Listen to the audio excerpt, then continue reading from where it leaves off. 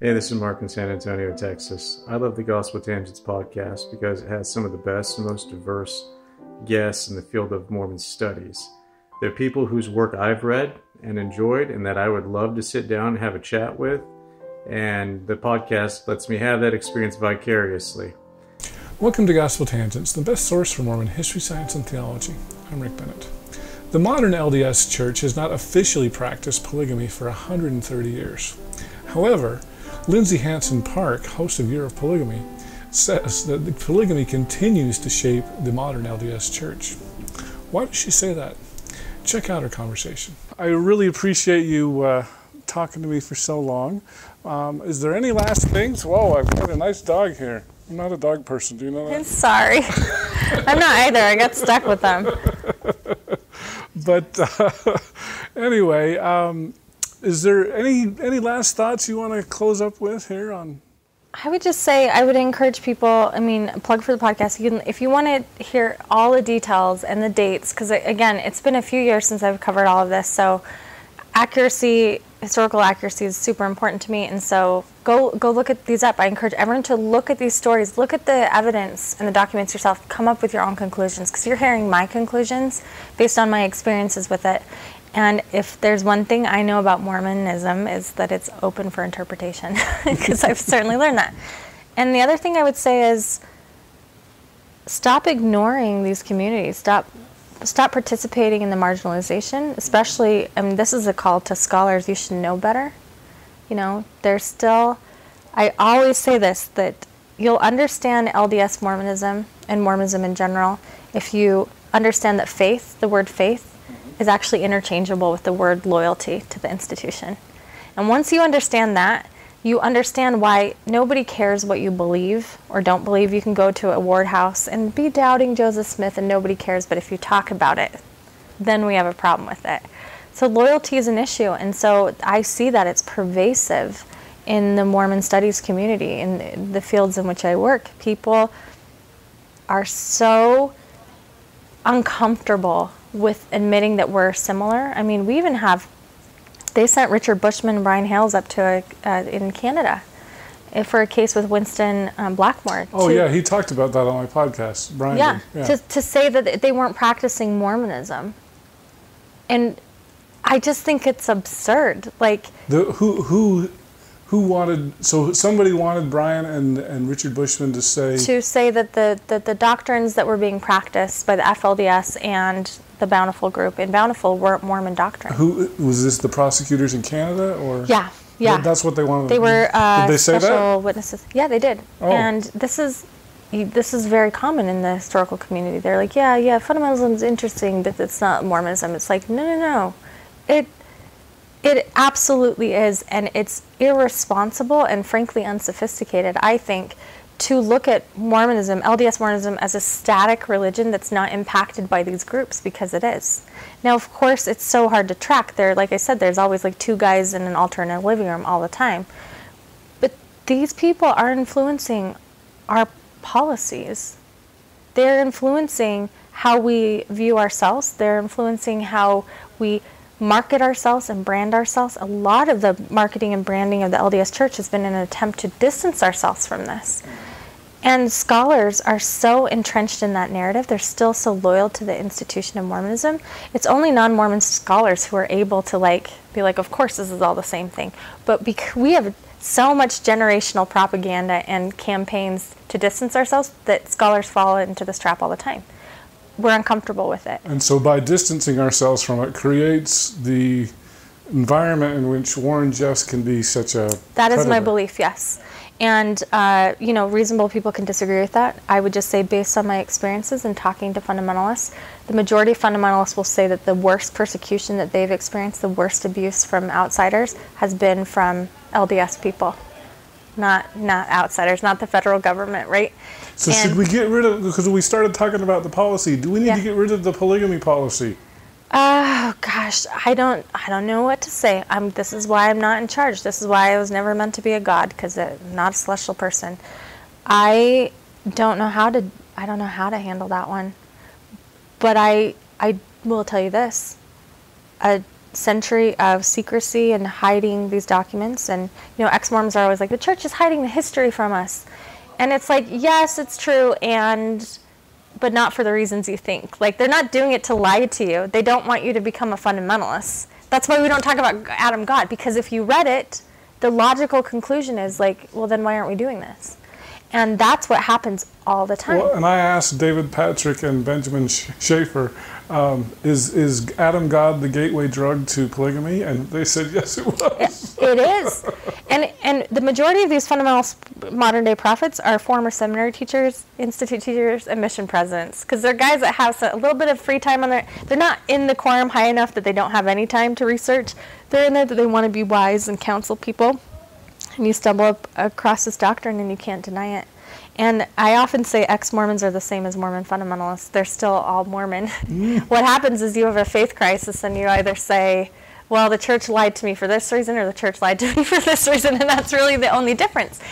And, and of course, I'm just being silly, but like mostly that's what it is. Um, fundamentalists are the most ex Mormon and also the most Mormon. Like they're the most Mormon, right? But they're also ex Mormon and and one of the critiques that I give the ex Mormon community at Sunstone, we validate them as a valid Mormon path because, again, this is a bias heavily in our community. Mormon scholars don't want to pay attention to ex Mormons because they're like, oh, they're just angry. Of course they're angry. They, they went through a terrible experience.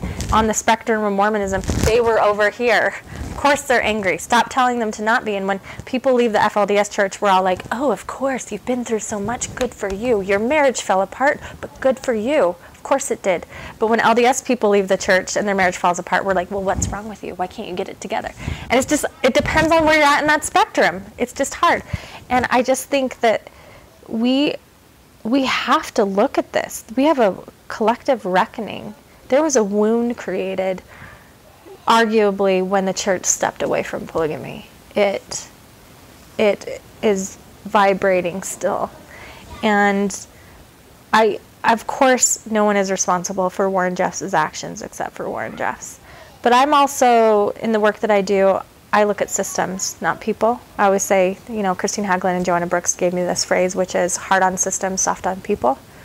And that's what I that's what I do. And I have the same sympathy for the brethren in our church. They are part of a system. I don't know how to handle this question because you do. If you Because we don't want I, I, totally understand where the brethren are coming from. Mm-hmm. We don't want people saying, "Oh, go join the LDS church so you can come back to us." I mean, I don't. Well, don't and, and here's, here's the thing. This is the, back to my critique with ex Mormons. I always say, guys, like, ex Mormons watch conference more religiously than like faithful Mormons do.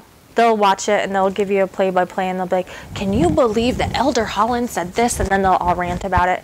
And I'm like, guys, like, you're still sustaining the brethren you just don't agree with them. That's the difference. Like, you're still upholding their authority. They still matter to you. And that's okay. Like, we need to stop being ashamed of that. Of course, they impact our, our lives. Of course, things that they say are going to affect you and your family. Like, why are we so afraid to admit that?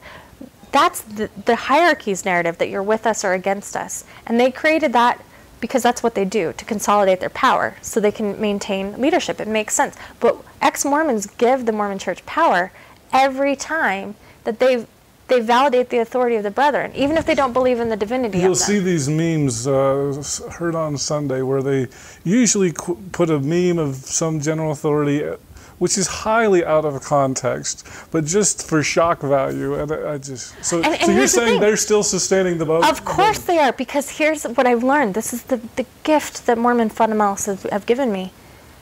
And this is why they're so dangerous. This is why all the policies in the LDS Church reflect being afraid of them instead of the John Dehlin types, right? People, they actually don't care that much about liberal Mormons. You cut out, you excommunicated Kate Kelly, the movement sort of dies down, right? I mean, that's not what it happens, but it's an easier thing than fundamentalism because fundamentalism is a harder thing to root out. It can be on your benches and pews, and you don't even know about it, and it is just last week, there's there, just so you know, who's ever in charge of the Boise, Idaho. the fundamentalists, and then you start a new religion. They don't even care about your authority anymore, and they're still doing it anyway. They don't. They don't give an f about who Elder Holland is. They don't even know who Elder Holland is. So like, Elder Holland says something, and they're like, I don't care. We're going to do Mormonism our own way. They are not listening, upholding the authority, and yet they're still so very Mormon. Their Mormonism is almost identical to our Mormonism in practice, culture, and theology. What a scary thing. There's, they have no power there, and that's why I tell ex-Mormons, like, if you really don't want the church to have a power there, you have to figure out a way to stop organizing around what they're saying, because it's and and and I'm not saying that as an accusation. well, I honestly, I don't. I have this belief that once a Mormon, always a Mormon. I just do. I think it's it's a doctrine that's full immersion and it seeps into your bones. Like like I think Joanna Brooks says, it doesn't wash off. It doesn't. And so there will be generations of us that are affected by this always. I used to say we're broken, we're broken forever, and someone's like, don't frame it that way. So I like to say we're affected. We will be affected. And my kids, I'm not raising in the church. That was a conscious decision but they will be affected by the generational trauma of me, right? So they're being raised by by Mormon activists, and I was just making this joke that we need to like crowdfund for all the therapy for the children of Mormon activists because they're getting a whole different kind of crazy Mormon experience. But we're all tied together. We're Mormon through and through, and that's why it's really informed my work at Sunstone more than one way to Mormon. I'm not saying that as like a little tagline. I'm saying it because it's honest. Yeah. It's honest. It's the truest thing that I can come up with, and in the most integrity with what I do. I used to obsess, like, oh, should I do an interview and wear sleeves? Because what if they see that I'm not wearing my garments anymore? And then they'll know that my voice doesn't have credibility. And I'm like, that's nonsense. I'm not going to play into that power dynamic. And yet, so many people do. Scholars still, they can't make the LDS church mad because then we don't have power. And I thought, you're just giving them power. You're just upholding a toxic narrative. The only way through this, I think, is to let every Mormon own who they are and live Mormonism the way that they do and accept that and stop trying to say, but this one's the more true church and this one, that's where we get into trouble. That's where I think that people, that lives start to be damaged. Well, and I know that, I know especially with your work here at Sunstone, that you've actually gone out of your way to try to because I know Sunstone has been marginalized for a long mm-hmm. time, mm-hmm. and I know you've really tried to bring in, you know, BYU professors and yeah. church employees. Oh, I played that game for a long time because people were like, "Oh, Lindsay, like Sunstone's just too anti-Mormon, so you need to bring them in." And I was like, "Oh, you're right. We'll solve that. We'll just invite more faithful Mormon voices." And they all told me no.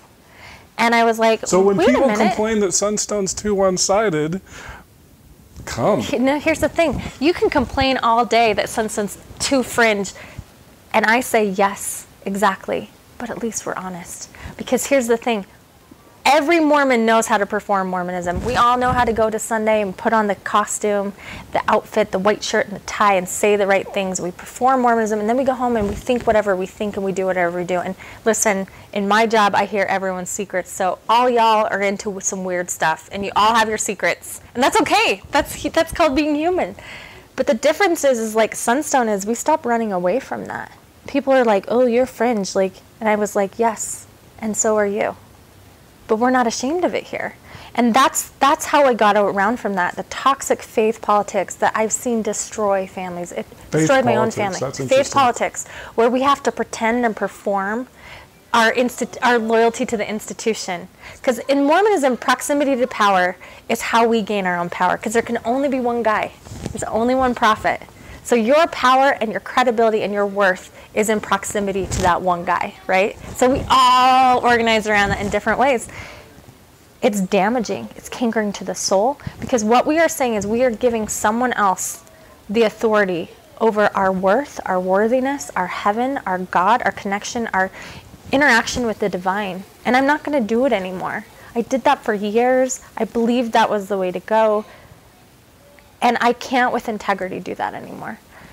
I love Mormonism. I have such affection to it. And honestly, for better or for worse, I actually don't like this about myself. I'm loyal to it through and through. Obviously, as my work is a testament to, I'm loyal to it. But I'm loyal to it collectively. I, I will never give my my own personal authority to any dude again. It's too complicated, it's too messy, there's too much paperwork, too many stories. There's no value in that. And I can see that time and time again. When Mormonism has become perform loyalty over connection with the divine, then it's not interesting to me. So at Sunstone, that's what we do. We embrace the fringe. We allow all different kinds of Mormons to come. And that's a difficult thing to do because I have to confront a shared connection with someone who I find their ideas repulsive. I find their practices repulsive. I find some of their ways of thinking or their lifestyles repulsive. And I don't want to I don't want to see any connectivity between us, right? But that's dishonest there's always connectivity somewhere and especially in mormonism we have this shared faith and, and so that's what i say like we're dishonest that's all so church employees are welcome at sunstone they come to present especially a lot of them a lot of them have we give them fake names on their name tags and all that because I, I don't mean to make you know i get all passionate about this but like the reality is there are live consequences for people right but I think every time that we play into that, we're uh, making it worse for them, not better. And so, but you know, yeah, we have.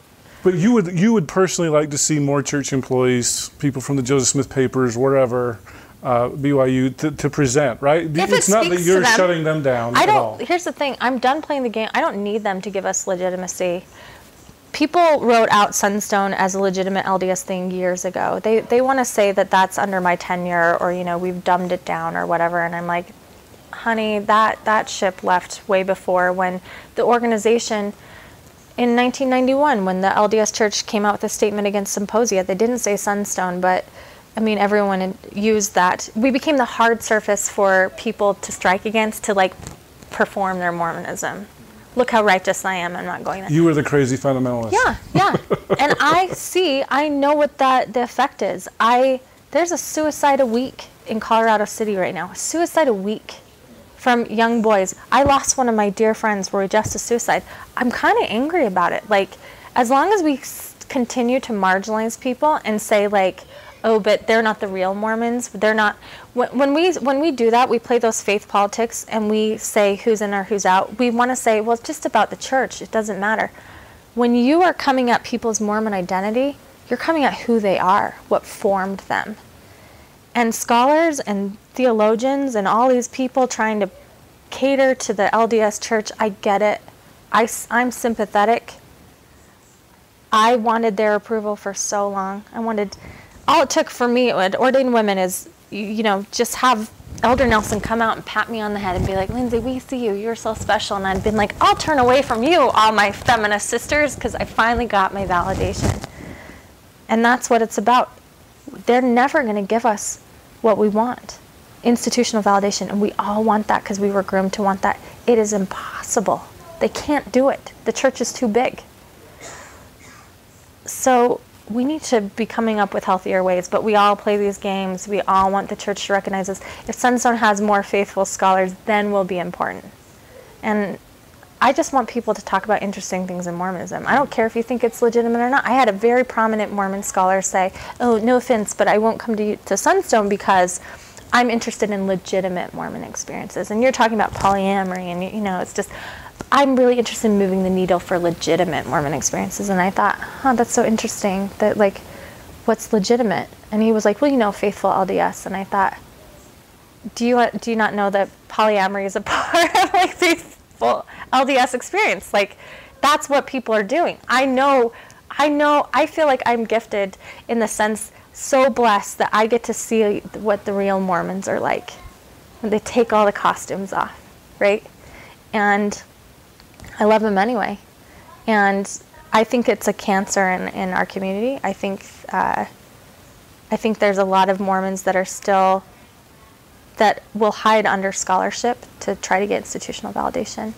And I sympathize with it. I kind of feel sorry for it. They're the little Lindsay that needs the head pat, right? Oh, I changed the church. Look at how my, I, you know, I have a citation in one of the essays. I finally made a difference to my people. And I don't think it's that hard. I think we just have to start accepting people for who they are.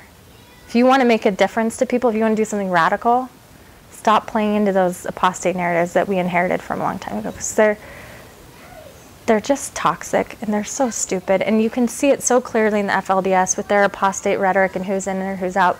And we want it and we can see it in them but we can't look at our at our own lives. And I don't know. I think that's what this work does is it's a call to hold up a mirror Mm-hmm.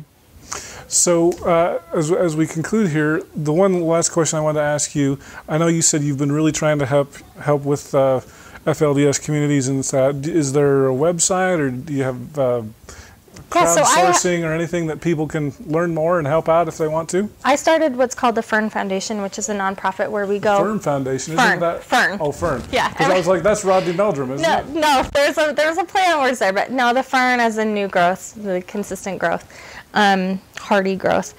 We go down twice a year, uh, April and October, and we do a service project. We just bring a lot of outsiders into the town, and we do we rent out a big plig house. All our volunteers stay there, and then we like, you know, we've we've done a lot of things. We had held the first rally against FLDS police at the time five years ago, which was phenomenal. We've changed Warren Jeffs's Compound into the Dream Center. We've helped the Dream Center change it into like a rehab center. Uh, we're helping Cherish Families. Uh, that's another organization that I would encourage people to support. So if you want to help with that, you can donate to that, uh, fernfoundation.org. We go in twice a year. It's really fun. You can sign up for our projects, and it's kind of an adventure. Uh, we're working on getting a community nature center. That's our new focus, and so the Fern Foundation is going to slowly be um, absorbed into the Short Creek Community Nature Center. Um, but we're a ways from that. But that's what Fern Foundation does. But if you want to help directly and not have me be the intermediary, go to Cherish Families. Cherish Families is run by former people in the town. They, uh, to me, no organization is perfect by any means, but they are trying to help the town and they're people that are grew up in the town and understand the culture and understand sort of the challenges. And Shirley Draper, she's was a plural wife that left. Uh, she's a Mormon feminist. She's amazing. Atheist woman went to the U, got her master's degree in social work, and came back and is helping our community. She runs Cherish Families, so they give counseling and therapy, and they they, they just got uh, a new dentist's office and um, they're getting a doctor's office put in town and things like that. So Cherish Families is, is a great organization and those are just some ways. There's a lot of organizations that are trying to help rescue people from polygamy. I've sort of turned away from the rescue dynamic. I think that there's something really insulting as I've seen my FLDS people struggle in the outside world to like assume that the outside world is better. Like, we're going to rescue you to our life. My life's a mess, but come over to my way of thinking. So yeah, I'm more interested in helping just walk with people in their struggle. So All right. Well, Lindsay Hansen Park, I really appreciate you for spending so much time here on Gospel Tangents. We might have to get you on again, though. yeah, sorry, I just ranted at you for Oh, that's like great. That's great. anytime you want to rant, I'm your girl. All right. Well, thanks again, Lindsay. I really yeah, appreciate it. thank you. I hope you enjoyed our conversation with Lindsay Hansen Park. And if you haven't checked out her podcast, Year of Polygamy, you're really missing out. So she, like I said, she doesn't just do polygamy, although obviously that's a big thing, but she talks about other things as well. So, Lindsay, thank you so much. And uh, I also want to tell everybody um, to please, as long as we're not under quarantine, please go to Sunstone at the end last week of July here in Salt Lake City. I'd love to see you. Lindsay would love to see you. Hopefully, we're not under quarantine by then, but. Uh, hopefully you can see us here at Sunstone. Uh, please come see me as well as you can say hi to Lindsay, although I know she's going to be super busy. So just come see me. Um, but anyway, Sunstone's awesome, and you should uh, check that out. Our next conversation is going to be with uh, Bill Shepard. He's an amazing historian from a church whose name you might find very familiar. It, it's actually the Church of Jesus Christ of Latter day Saints, Strangite. so that was, we had to put the appendage on. We couldn't use the term Church of Jesus Christ of Latter day Saints for obvious reasons. So you've got, in fact, I think the only difference between your church name and my church name is I have a lowercase d and you've got a capital D with no hyphen. right, And we have a hyphen right. lowercase. So that, that's pretty funny. So would you call yourself a Mormon? Oh, very definitely. Uh, If you'd like to hear the entire interview uncut, please subscribe to patreon.com slash gospel tangents. And for just $5 a month, you can hear the entire interview without any interruption. If you'd like a paperback version of our transcripts, go to Amazon.com and do a search for Gospel Tangents interview. Also, if you'd like to give the money to me and not Amazon, please subscribe on my website, and I'll be able to send you a transcript as soon as they are completed. And click the subscribe button. You can also find our latest information on facebook.com slash gospel tangents, as well as we're on Twitter at gospel tangents. And don't forget to subscribe on Apple Podcasts. The link is at tinyurl.com slash gospeltangents, and you can subscribe there. Also, please give us a five star review. If you want to support all of the podcasts as part of the Dialogue Podcast Network, go to lyceum.fm, that's L Y C E U M.fm, and do a search for Dialogue Podcast Network or Gospel Tangents, because, you know, that's a pretty cool one too. Thanks again for listening. Click here to subscribe, here for a transcript, and over here we've got some of our great videos. Thanks again.